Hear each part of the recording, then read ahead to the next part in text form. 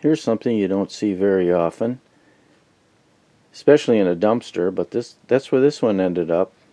I don't know if it malfunctioned or the batteries are bad or what, but um, this might be an interesting teardown. I have some experience with defibrillators, but not not this type of defibrillator, but I know some of the older ones that I'm familiar with had some really neat vacuum relays in them. And uh, basically they charge up a big capacitor and then uh, you've all seen in the movies they take the paddles and then they push the buttons and uh, they discharge the capacitor through the person's chest and try to convert them into a more life sustaining rhythm which unfortunately in real life doesn't happen like on TV. But anyway, back to the uh, AED. I'm going to tear it apart and we'll see what we find inside. Stand by. This is my first experiencing looking at one of these. It's kind of interesting. They come all pre-connected. They got the patches and everything inside of a package. Even give you a little scissors. And evidently, you've got on the front, it kind of tells you what to do here. The thing is powered by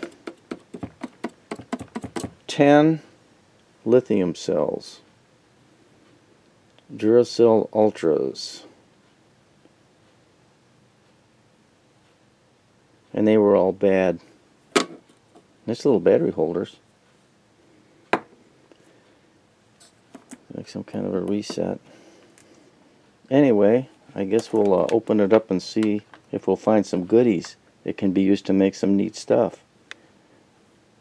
I'm hoping for some kind of a vacuum relay, but uh, I don't think I'll find one in here. They probably use a big FET to uh, to discharge the cap into the waiting victim here. 14 screws later and the uh, unit is open. I didn't bother showing you uh, unscrewing the uh, the cage here. You see a lot of these videos and they show you unscrewing the screws and it can, you know they make a, a 10 or 15 minute video into an hour but who wants to see that if you don't know how to use a screwdriver I guess Anyway, here's the here's the guy you want to watch here.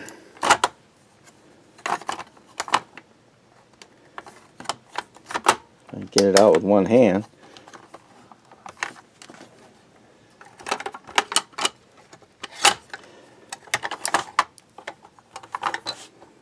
This is probably a huge electrolytic capacitor, which I'm sure it is. 115 microfarad at 2300 volts. Holy cow. Yeah, this high voltage charge stored in this capacitor is lethal. And it may be retained for a long time. Yep, that's for sure. But, um, well, I'm used to working with big capacitors. Here's a nice capacitor. Philips, 2400 microfarads at 450 volts.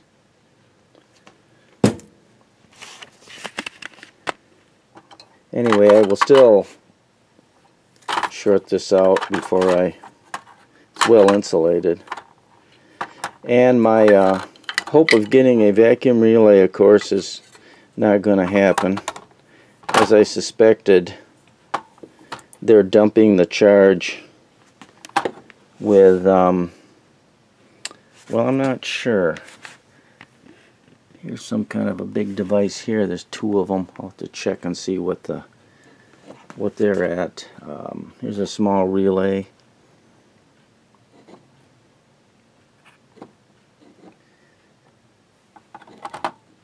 Yeah, not much in here that's really of any value. But um, Anyway, I'll pull the board out, I'll discharge the cap, make sure it's discharged, and we'll see what we got. Well, I made sure this was discharged. I measured across at 0 volts, so we're okay to mess with it. But always remember, Reddy Kilowatt is not your friend. And if you don't believe me, take it from someone who knows. Danger, danger, Will Robinson. Danger, danger, Will Robinson. Here's the large capacitor that's charged up and um, is dumped into the uh, the leads that go to the patient. I know in the older units we used to use, they would develop up to 360 joules of energy. I don't know what this one's rated at. You can calculate it from the capacitance and the voltage. If you take one of these apart, be extra careful because at this amount of energy, if you're not in uh, ventricular fibrillation, if you get on the wrong end of this thing, you soon will be. So heed the warning. Well, this board does have some uh, useful components on it. These components here, these are SCRs. They're 16 amp 1000 volt SCRs. And there's 17 of them on this thing.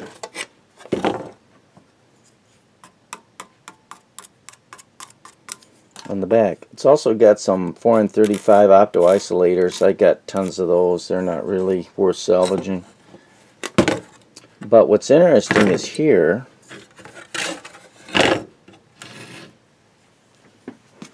right here, are two IGBTs, insulated gate bipolar transistors, and they're rated at 1200 volts at 24 amps. So um, they will be useful for something. And here's a little, looks like a little current transformer. It's got a wire going through it.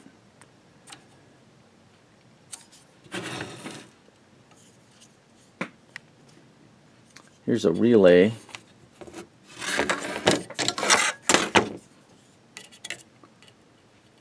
Nine volts and it'll switch 10 amps at 250 volts or 10 amps at 30 volts DC. 250 volts AC or 3 volts 30 volts DC. So it does have a few useful parts on it. I'll find useful parts on just about anything. Even if you get a line cord or, or something like that, it's it's worth it. A lot of this other stuff is just basically scrap. Well made board though. This would be a good one to practice removing and uh, soldering surface mount parts if you're learning to uh, use surface mount. Here's the battery holder board that I just removed. I'll keep this. I'm going to remove all of the the battery holders. They hold these little lithium 3 volt lithium, lithium cells. And um, those might come in handy for something. You know, one of the best sources for parts is uh, old electronics, especially commercial or industrial. You get some, you can get some circuit boards with really good parts in them. This uh, this might not be that useful. Um, 2300 volts, 115 microfarads, but it might be useful in um, a project I've thought of. Um, a, an electric fence and my ongoing battle against raccoons. So this might come in handy. There's a lot of energy in here. I'll test this and see if it's any good. Anyway, that's it for the teardown. I don't usually do teardowns, but this one was kind of different and interesting. I thought somebody might be uh, interested in it. So keep your eye open for surplus electronics. Lots of goodies out there. Especially if you know somebody that knows where there's good dumpsters. Anyway, that's it for this one. Catch you in the next one. Thanks for watching. Bye for now.